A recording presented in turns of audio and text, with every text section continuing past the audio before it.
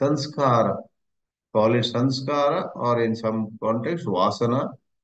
They are not identical, but at places they come together. So sanskara. And we don't want that in the spiritual domain. We want to reduce those sanskaras, those impressions, those memories which erupt as vasana. And vasana leads to an action.